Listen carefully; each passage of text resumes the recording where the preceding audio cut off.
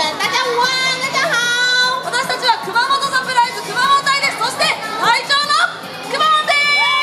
好。的，我们是来自于日本熊本县库马蒙队的这位呢，是我们库马蒙队的姐姐，这位就是我们库马蒙队的队长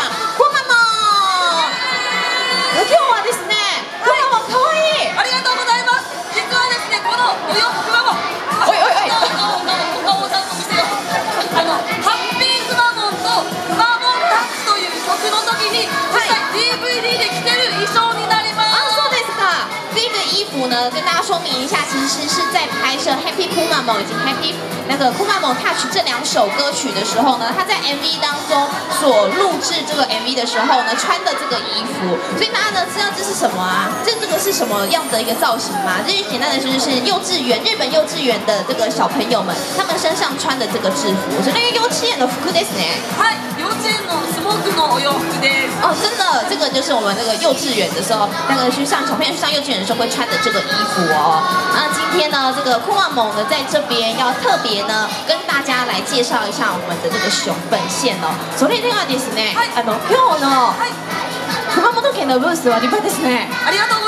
ざいます。除了主角可爱的库玛蒙之外呢，还有另外一个是什么？就是我们今天的这个现场所搭的舞台，还有摊位的一个造型。请问大家有去过熊本县的这个熊本城吗？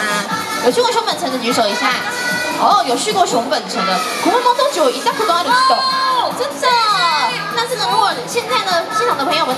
家如果以后去熊本城的话，一定会去的，一一定会经过的一个地方呢，就是这个城彩苑。那我们今天的现场的舞台，还有我们整个的布景呢，都是仿照日本的这个城彩苑所打造而成的。はい、そして山形灯籠の衣装の体験ができま哦，在这边有我们山路灯笼季的体验。如果现场的朋友们呢，对于熊本县有点熟悉的话，或者是喜欢参加祭典的话，哎，听一下我的说明哦，谁这边有 K 点哦？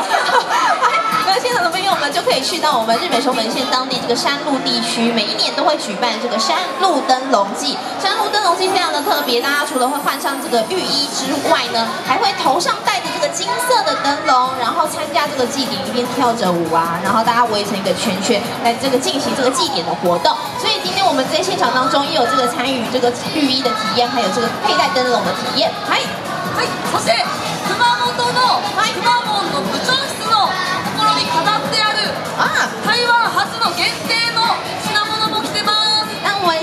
我们，这个学我们这个库曼蒙呢，他是非常的忙碌的。